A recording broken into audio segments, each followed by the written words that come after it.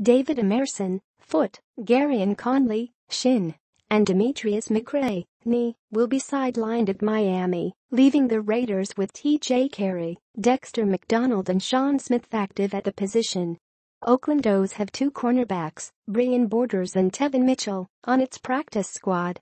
The Raiders also plan to activate safety Obi Melifonwu from injured reserve for Sunday's game and could attempt to get by with a short-handed secondary.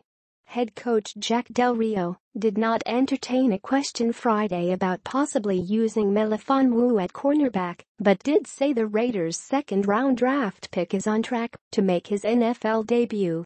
Yeah, we think we'll get him up, Del Rio said. He's had a good week. A versatile guy that we had big designs for before he suffered the injury. Back to full strength, and we look forward to having him.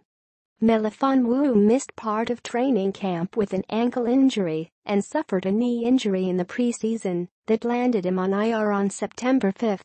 A standout at the draft combine, his only game action so far with the Raiders came in the third preseason game when he played 22 snaps against Dallas.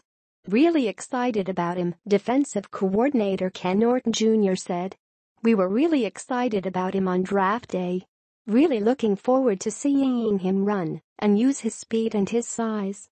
Injury report, right guard Gabe Jackson, ankle, practiced Friday for the first time this week and is listed as questionable against Miami. Safety Karl Joseph, groin, who was inactive against the Bills last Sunday, is also listed as questionable. Also limited in practice Friday and listed as questionable are linebackers Cory James, knee, Marquel Lee, ankle, and Nicholas Morrow, ankle, and fullback Jamize Olawale, hamstring.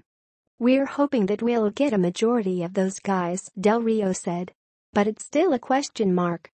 Travel plan, the Raiders plan to stay in Sarasota on Friday night and fly out late Saturday, still giving them nearly 24 hours in Miami before kickoff against the Dolphins at 5.30 p.m. Pacific Standard Time. We'll fill up a lot of it, Del Rio said. We'll have meetings and walkthroughs and whatnot. And we'll be ready to go. It's a business trip. We're here for business.